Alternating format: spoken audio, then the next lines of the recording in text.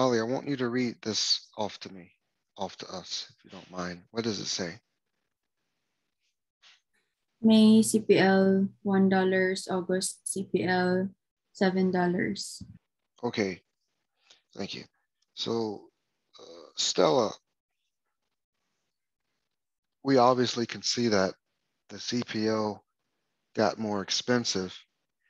Um, Stella, tell everybody why why do you think the CPL, in your opinion, as a guess, why do you believe the CPL got more expensive?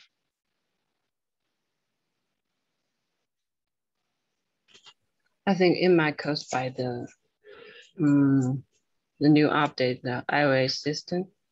So the results is not including the people who opt out from assistance, mm -hmm. and their algorithm might have been updated based on this. Very good. That's a great opinion. Um, I want to attack it from a different angle. Um, but that is an amazing opinion. Very high tech. Hannah, other than what Stella said, something that's different. Why do you believe the CPL got more expensive?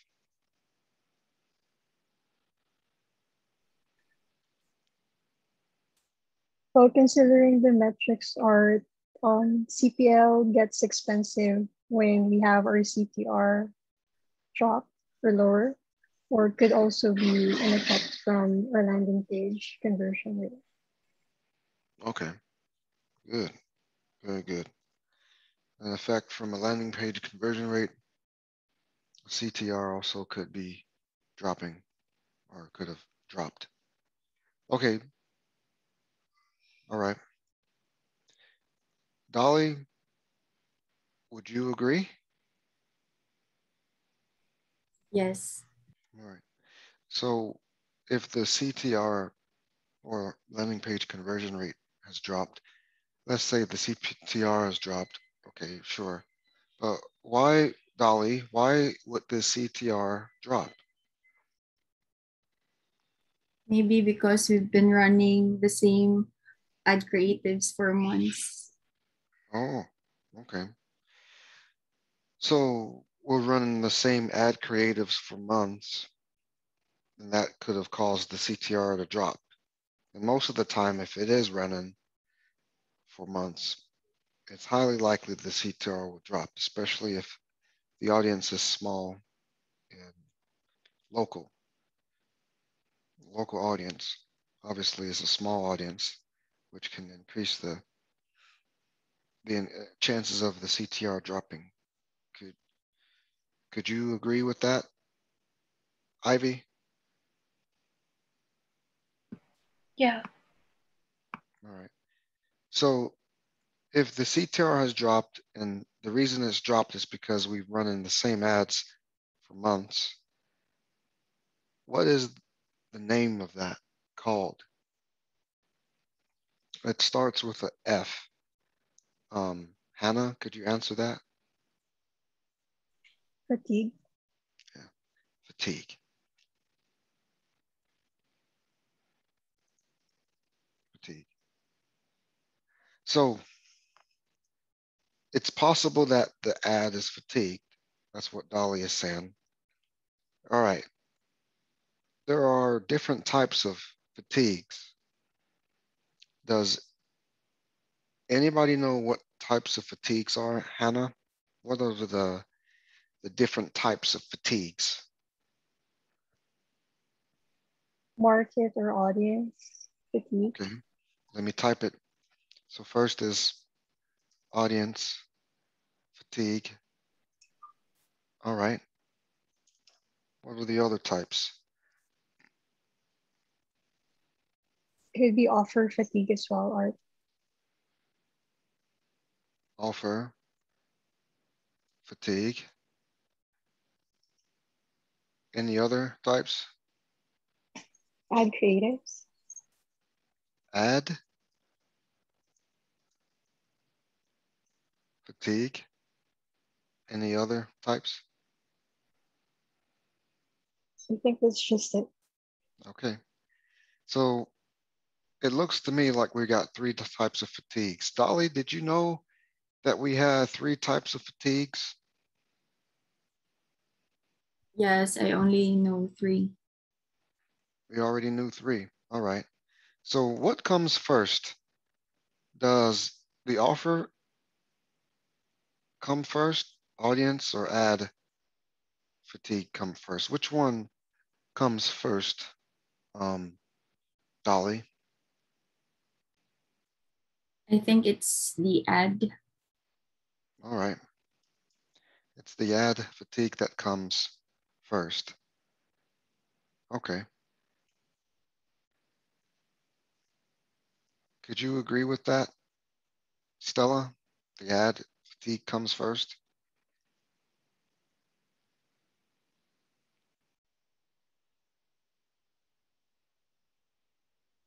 Or Stella, do you think something else comes first?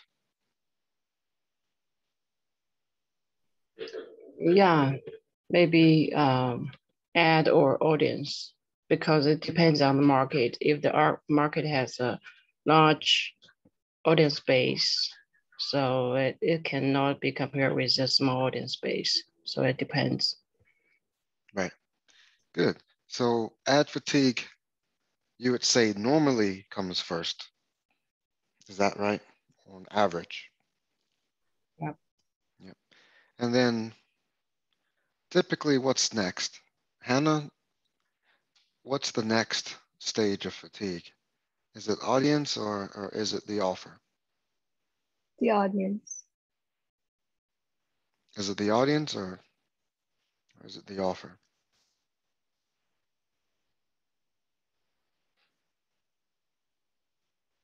Say it again so people can I hear think it. it's the audience. I think it's the audience or Okay, audience fatigue.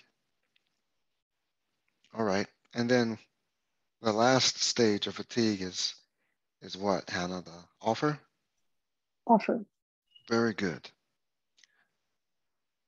So going back to the ad, um, if we have an ad fatigue, Dolly, how would we fix that? If the ad is fatigued, what do we do? We can rotate or run a different um, ad creatives, ad Yeah, images. right. It's, it's easy, right? Change the ad, right? Change the ad, right? So if we change the ad, typically that can help fight fatigue, right? And that'll only solve it. for How long will it solve the problem? Will it solve it forever or will it solve it temporarily? Dolly? Just temporarily. Yeah, temporarily. Now, what about audience fatigue? If we have some audience fatigue, Hannah, how do we fix that? Test new set of audiences. Have a new set of audience? Mhm. You you mean rotate the audience, right? So Yes, rotate. rotate it, rotate the audience. That way, when we do that, we'll typically be, you know, getting, well, get, getting, um, hmm, can't even fix it. We'll typically be able to target a different audience, audience who hasn't seen this, our brand in a long time, who haven't seen this offer in a long time, whatever. We'll be able to rotate the audience and then let the, the other audience take a break, right? Let the other audience consume ADA content. That way we can kind of keep it flowing. So if we do this correctly, honestly, we can run the same offer for you know a pretty good long time if we rotate these audiences strategically. But if we rotate the audience um, too aggressively or if we target both audiences, the chances are it's going to suffer a lot, right? And then we won't be able to rotate audiences anymore. So if that happens, Hannah, what could we do? What will we have to do? Change offer. Yeah, change the offer. And this offer that we change, unfortunately, would have to be a better offer than last time in order for it to, to successfully work. If the offer isn't better, that won't work. So we will definitely be, you know, having a hard time getting these ads to work. And I've seen this happen before in in multiple accounts, and I would guess everyone has. And we want to combat that by being more strategic about our rotation. And honestly, uh, it'll help us in the long run with, you know, keeping a stable cost per acquisition.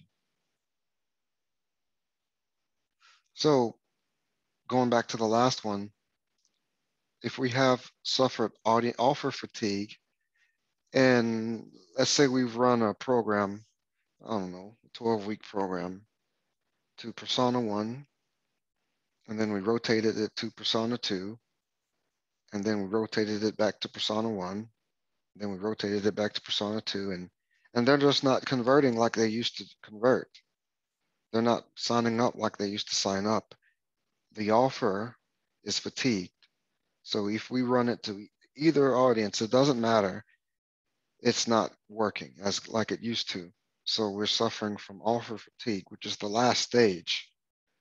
And whenever we suffer from offer fatigue, Dolly, what can we do? Um, we can pause the old offer, then launch the new offer. All right, launch the new offer. And but this, the problem with this is, this is when you have to put your brain together and figure out what offer we can run. But there's a good thing. If we change the offer, and let's say we create six, four to six offers per year, if you do it correctly, correctly means strategically, you could have four to six solid offers that you can run on a rotated schedule per year. I've seen accounts that have this before. It's quite difficult at first, but once you have it, you know, you can honestly rotate ads, audiences, and offers where you don't really have to create new funnels, create new campaigns, create you still might have to create new ads sometimes, but most of the time, if you have a lot of ads in the account, you can you normally won't have to create um, new ads, if not just a few. But you will no longer need to create new offers, and you will no longer need to create new funnels. And obviously, you won't need to touch the audience. Wouldn't that be great? Because you only don't have to do that much work all you have to do is turn ads on and turn them off, turn campaigns on, turn them off, turn ad sets on, turn them off. That's the ideal world that we want to be in because it's it's a predictable outcome. Now there isn't a it's not going to be perfect because there are going to be times where it's, it's prematurely failing that means we expected to rotate it in a month, but it's failing early. So we rotated two weeks early, and that puts us ahead of schedule. Now we have to come up with another offer because we rotated it too early, and the next offer we rotated to was also early, and we have no other audiences and offers to to use in that time frame. So we need to come up with another one. That's happens. That happens. you have to just uh, be prepared for it. But it can give us a sense of a direction. And that direction would be uh, creating marketing campaigns that we can predictably forecast the outcome of a longevity success. Because at the end of the day, that's what we want. We don't want to have a client for one month or three months. We want to keep them for years. And the only way to do that, the only way to do that is to create a predictable long-term strategy that we can adjust at will. It's all up to you though when it comes to rotation. Rotation. We say change, we say rotate. It's the same thing. It's all up to you when it comes to rotation. If we are going to um, listen to the client and run two audiences at the same time, then we won't have nothing to rotate to. Then it's going to fail. After a while, it's going to be harder to get it to work like it used to. Or if we run two campaigns at the same time, targeting two different markets, we're going to fatigue both of them eventually. And then again, we won't have an audience to rotate to. Therefore, we need to come up with a different strategy. The last problem with this situation is this. If we fatigue our audiences and we have to come up with a new offer, even if we change the offer, it is not going to work for a long time because they were already fatigued. It might work, but it only work for a very short time. And then we're fatigued again. So has anyone ever saw that before? Stella, have you ever saw this happen before? Yes. Yeah. And it's a very difficult situation because we have to come up with another offer or another way. And it's very stressful. I'm going to tell you a secret that can help combat that. And it's called a contingency plan. Contingency plan. Contingency plan. Does anybody know what contingency plan mean? Hannah, do you know what it means? Yeah, like a backup plan. Yeah, you know, having a backup plan. So to have a backup plan, there are things and ways you can do this. One of the most common and easiest way is to have a backup persona. Most of the time, this backup persona is location based. So what I mean by that is this. If we're targeting a city, let's say we're targeting um, the whole area of a whole city.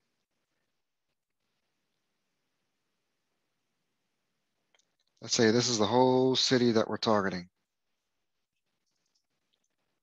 And inside of this city, we've got maybe two personas, persona one, persona two. All right. Let's say that if we target this whole city, let's say that we do not target this area right here. This area right here is our backup plan.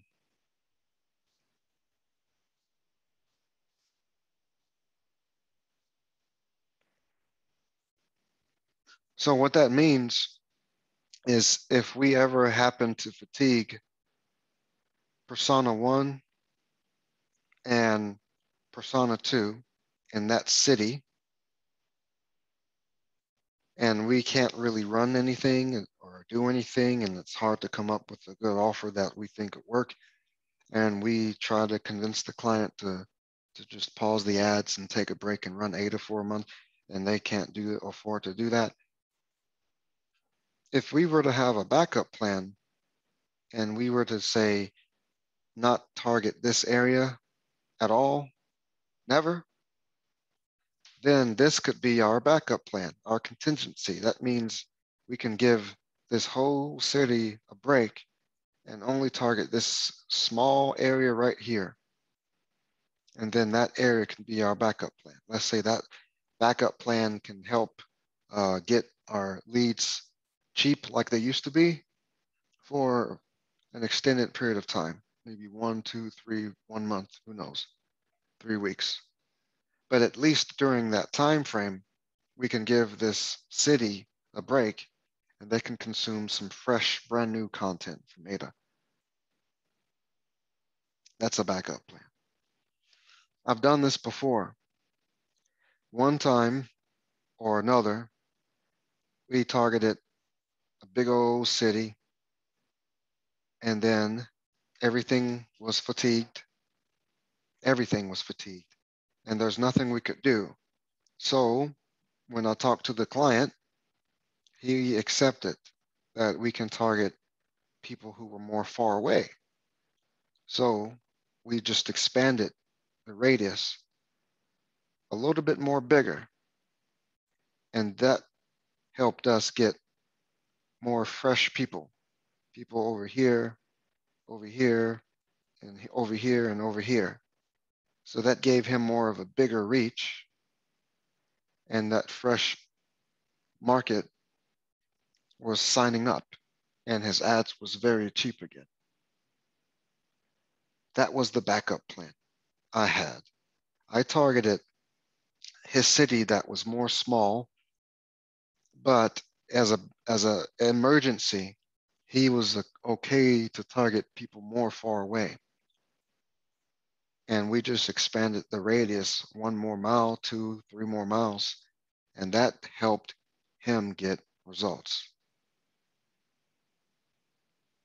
So that's another thing you can do. Now, it's very difficult sometimes if you're in a condensed population or whatever. It's very hard, but if you do target a new location, guess what? That's that's a new market. That's a new audience. And what happens? What happens most of the time when we target a new location, Stella? In some cases, what happens?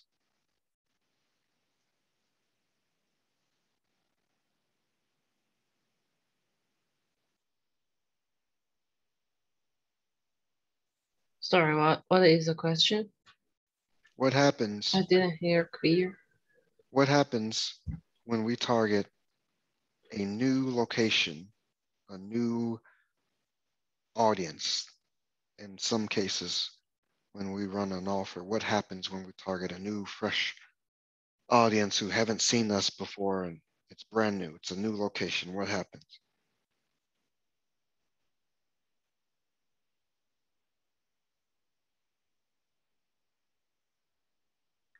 Um, if it's a new location, I think there will be a big chance that um, um you know, we can get cheaper results if the local competition is lower.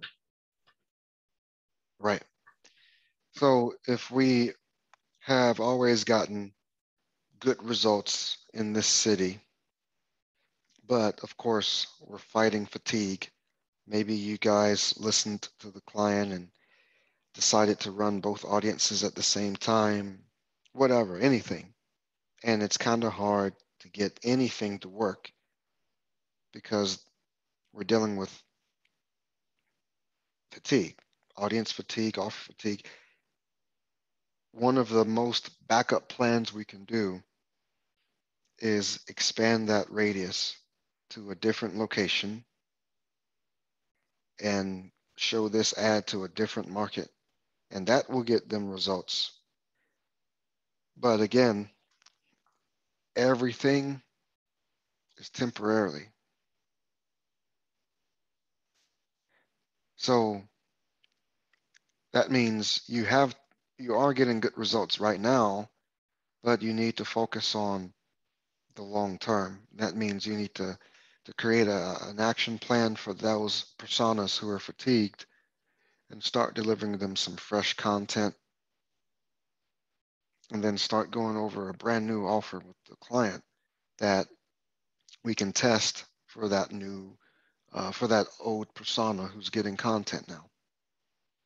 That'd be the best strategy because that way when it's time to run an offer to that old market we will have a high success possibility rate because of the the content that they were getting and and also because they haven't seen any of our offers for a while. So that's another way to do it.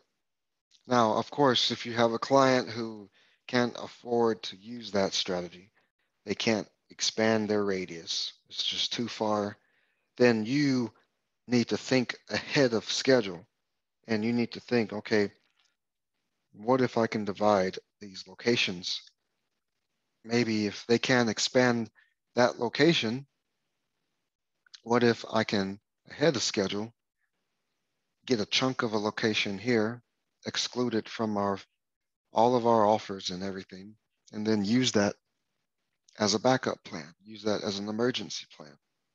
That'll be our contingency plan. And then that way, when it is time to, or if it does happen, at least you have a backup plan. That'll work. That's another way. All right, last thing. There is one more other way besides location that you can use that'll help. Location is one. There's another one, one more that you can do. Let's say, let's say persona one is, you know, men 30 to 50. Persona two is females 30 to 50 uh, what's the second thing you can do, Hannah, as an emergency plan if all else is not working because of fatigue?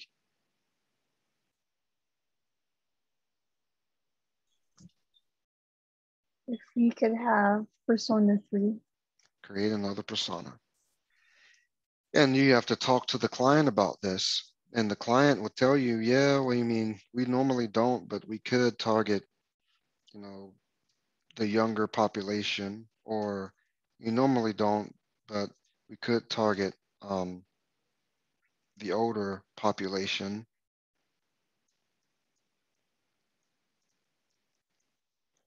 You know, that's another persona. That's another age group that will convert. And most of the time that works because the client, they have clients who are all types of ages, but they're telling you what they would prefer. I would prefer 30 to 50. That's what I want. I prefer it. But we're in an emergency situation, fatigue, right?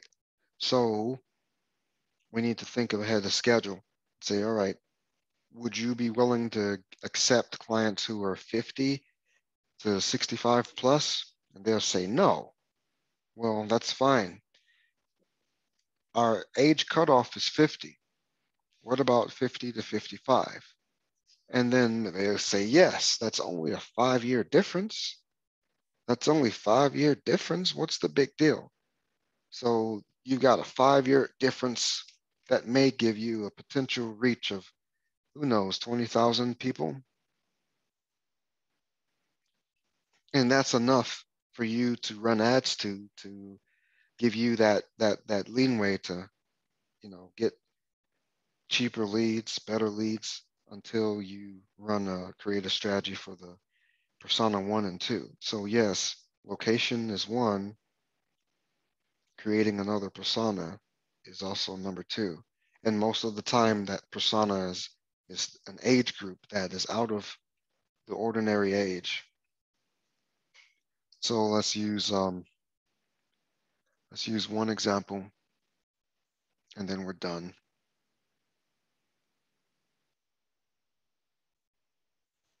One example would be, um, I don't know.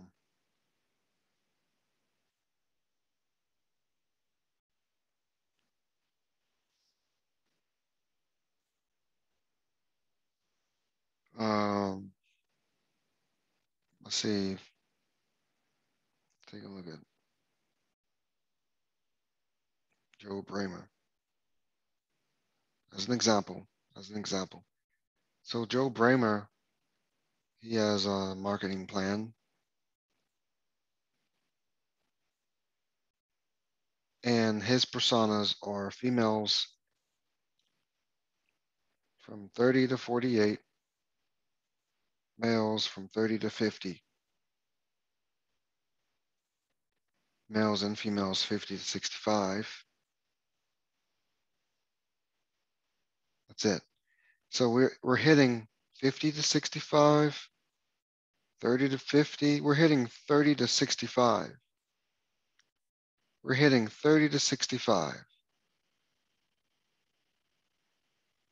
So if Hannah was to run ads for Joe and she's dealing with some audience fatigue and offer offer fatigue, and there's nothing we can do,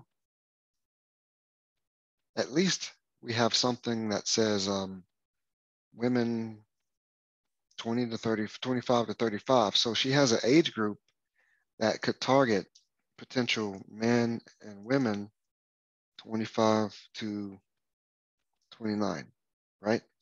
So 25 to 29 is an age group that probably haven't saw Joe's ads before, if not for a long time. And that's a that's a small age group that we could target to get results temporarily while we focus on the long-term effect. Do you guys understand? Go ahead and type yes if you do, or type no if you don't. Okay, thank you.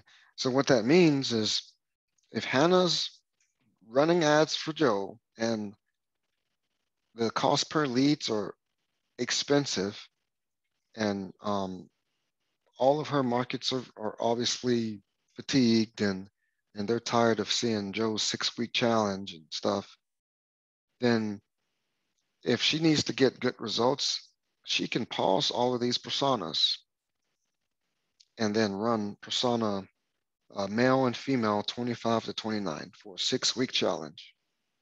And she will get results because likely that age group haven't saw those ads.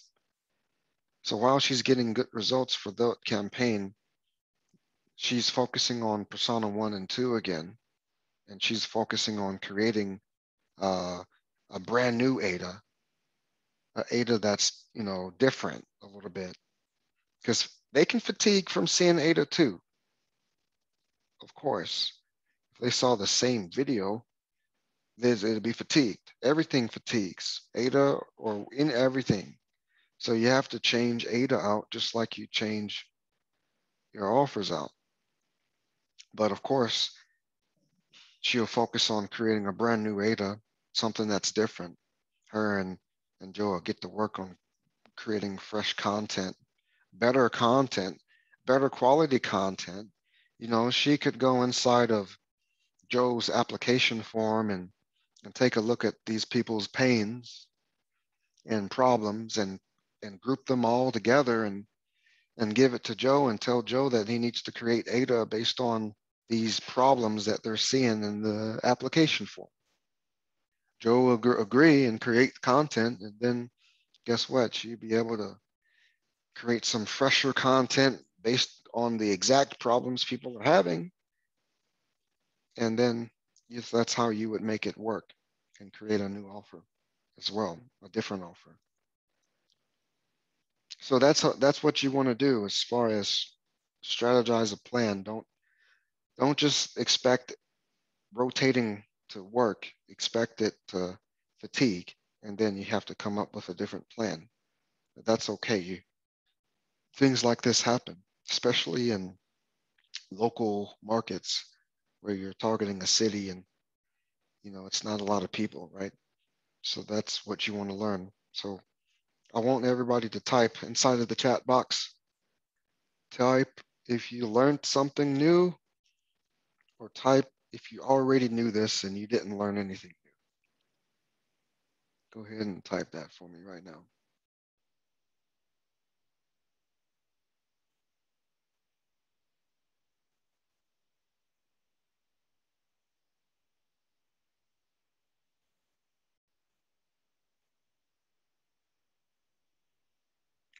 All right. Apply it. Apply it. And then if you seek help, let Hannah and me know, and we'll be able to help you. Thank you, everybody. Have a great rest of your day.